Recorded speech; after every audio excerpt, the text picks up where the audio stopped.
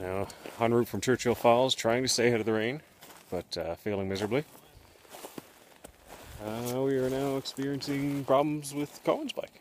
It doesn't want to stay running, so we're now just kind of hanging out on the side of the road for a little while and hope that it magically starts itself up like mine did after the uh, problems on the ferry. Yeah, that's uh, that's basically the status update. It's raining and the bike won't run, so now we have rain and flies and we're stationary. So it's, it's a lot of awesomeness. Now we're at uh, probably a half an hour now on the side of the road, and we found out that the positive terminal on Cohen's battery had come loose, causing his bike not to run. So we stripped part of the bike apart, fixed it up, fired it up, it's running now, and uh, we're completely swarmed with flies, and it's raining, and the only people to stop and offer any assistance were two women in a car.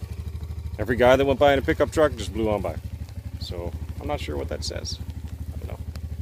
But anyway, it's starting to rain more heavily, and uh, I guess we'll get going.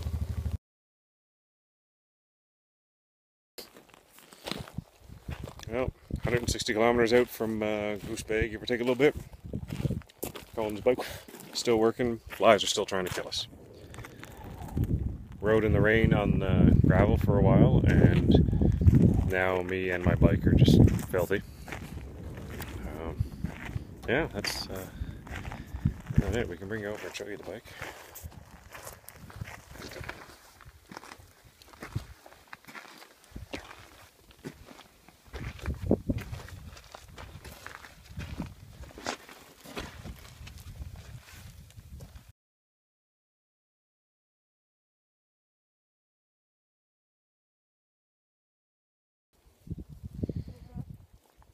Behind me is Cohen washing his bike with a sock because that's what you do in the wilderness.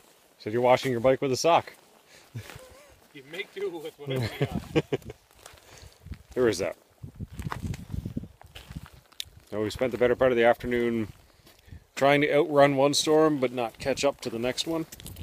Been reasonably successful, but uh, it's kind of takes some creative use of your velocity if you're uh, going to pull that off over the distance. I'm sure this is all shaky and stuff, but if I stand still, the flies try to come and kill me. Yeah, let's see. Is that Richard over there having a pee? For some reason he's standing in a hole having a pee. Not sure what's up with that. But, uh, yeah.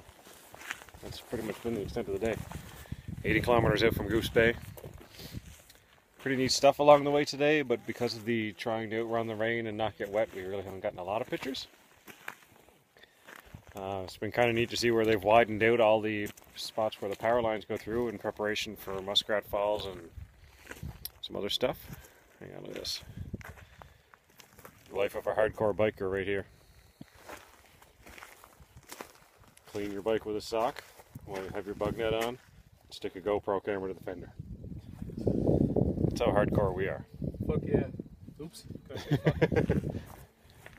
Probably shouldn't, but Sam will blame Uncle Cohen for saying saying bad words. And uh, yeah, I'll do a quick pan around and we'll see here.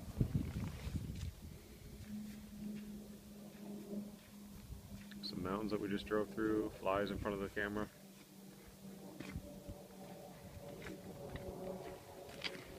Sounds like a plane up there. Pretty cool.